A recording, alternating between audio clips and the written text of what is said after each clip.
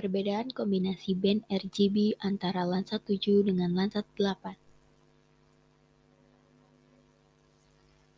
Landsat 8 menyempurnakan satelit pengamat bumi sebelumnya, yakni meski memiliki karakteristik yang mirip dengan Landsat 7, baik resolusinya yakni spasial, temporal, dan temporal, metode koreksi serta ketinggian terbang serta karakteristik sensor yang di bawahnya, namun jumlah band serta rentang spektrumnya berbeda.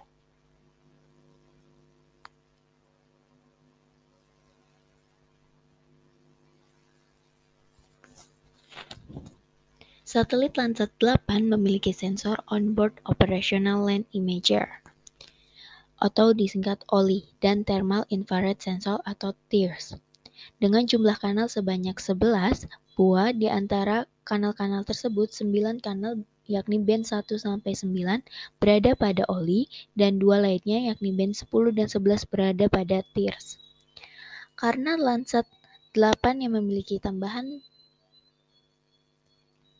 lab, tambahan band, kombinasi band untuk memuat komposit RGB berbeda dengan Landsat 7 atau Landsat 5.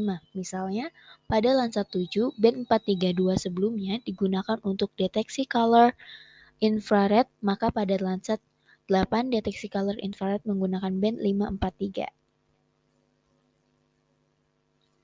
Perbedaan lainnya, pada Landsat uh, 7 dan 8, pada Landsat 7 untuk natural colornya memiliki 321 dan Landsat 8 memiliki 432.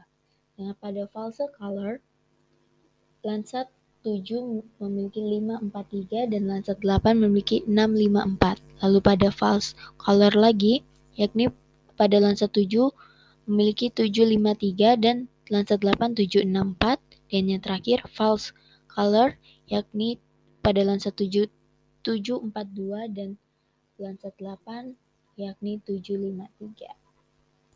Baik, sekian yang bisa saya sampaikan. Bye bye, sampai berjumpa kembali.